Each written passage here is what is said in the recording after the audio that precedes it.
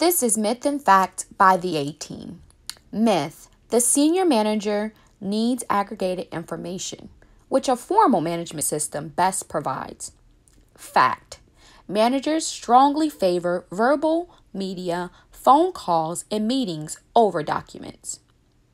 We look at a manager named Milton who recently sits at his desk and reads a report describing that company X is looking to sell.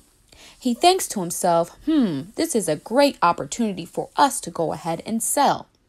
So he calls up the company, Company X, to inquire about this information. As he discovers, the company informs that they had already sold this past Friday. Confused, he said, What? Friday? I just recently read this report. He goes back and reviews the report, and the report shows that it was delivered on the 4th. However, he didn't receive this information until later the next week.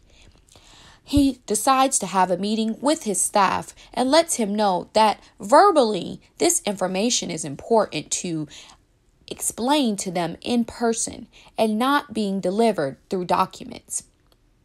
From now on, he decides that verbally this information needs to be addressed.